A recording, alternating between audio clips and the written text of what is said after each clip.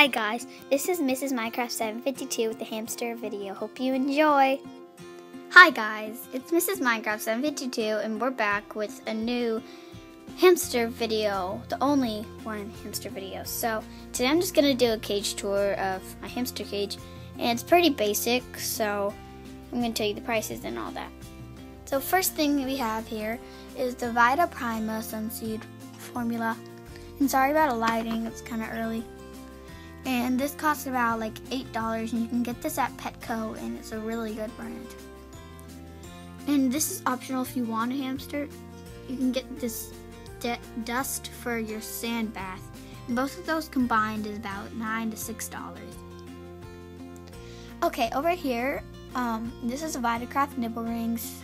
They're just vitamins for your rabbit, guinea pigs, whatever.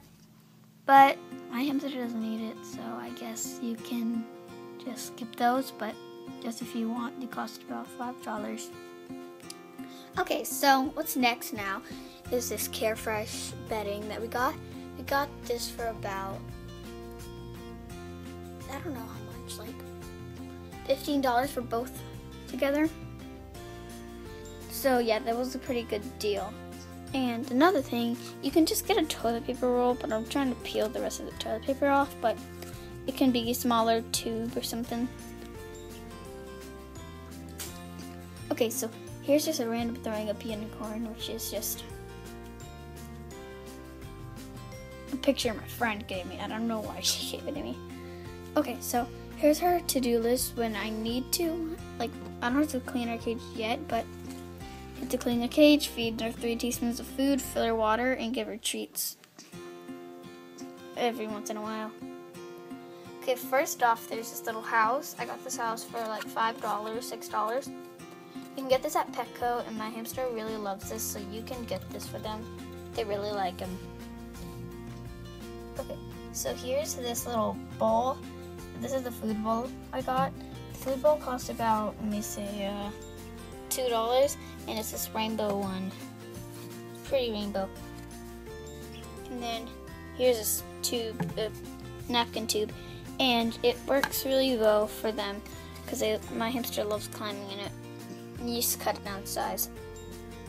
Okay, so here's her water bowl. She, she's when she's ah, since she's little, she doesn't know how to use her water bottle, so she has to use her water bottle. So that's why I have to fill up her water. Here's her flying saucer. Um, this costs about five dollars, but you, if you have like a small cage, I recommend don't really get this one because it takes up a lot of room. But you can get a wheel, but this is fine for a hamster cage. And also, they love burrowing inside here, so that's a pretty good thing. Okay, so basically, this cage costs about fifteen dollars and I got that for a really good deal. And then lastly is this is top. You can top you can get for like ten dollars too, and it, it has like Hello Kitty on it right there. So yeah, um, I hope you enjoyed this video and comment, rate, subscribe, and I'll show you some overviews and pictures of the cage. Bye guys.